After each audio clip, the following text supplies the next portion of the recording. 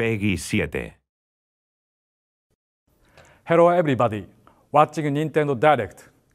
I'm Eiji Aonuma, the producer of The Legend of Zelda. ゼルダの25周年を皆さんと一緒にお祝いさせていただいたのはついこの間のような気がしていたのですがあれからもう1年も経っているのですね月日の経つのは早いものです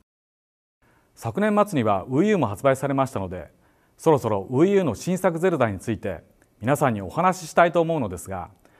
詳しい話は実際のゲームの画面を見ていただけるようになってからするとして本日はその開発テーマについてお話しさせていただこうと思います。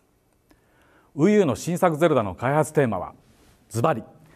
ゼルダの当たり前を見直すです。なんだか体操の音楽が聞こえてきそうなテーマですがこのゼルダの当たり前というのは例えばシナリオに沿って順番にダンジョンを攻略するという当たり前や一人で黙々と遊ぶという当たり前などここ最近のゼルダで当たり前になってきたことを原点に立ち返り今遊びたいスタイルに生まれ変わらせようということです。実はこれと同じようなチャレンジはスカイウォードソードでもしてきたのですが一本道な構成にはあまり手をつけられませんでした。今回それが具体的にどんなふうに生まれ変わるのかについてはもう少し出来上がりを確かめてからお話しさせていただきたいと思います。それとは別に本日はその WiiU の新作の開発の過程で生まれたちょっと興味深い画像がありますのでそれをぜひ皆さんにご覧いただきたいと思います。ファンの皆さんにはこれが何の画像かもうお分かりのことと思いますが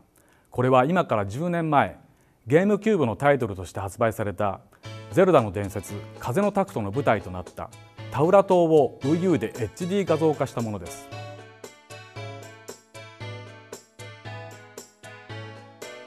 我々ゼルダチームは2011年の E3 で HD エクスペリエンスという WiiU のゼルダのデモを公開してからさらにそのグラフィックを検討するために過去のシリーズタイトルをいくつか HD 化してみたのですが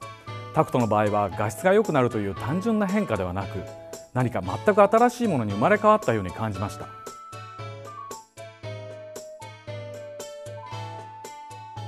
本日この画像を皆さんにご覧いただいたのは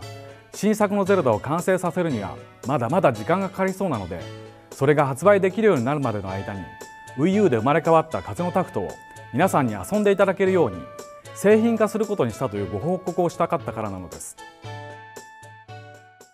WiiU の風のタクト新作同様楽しみにしていてください。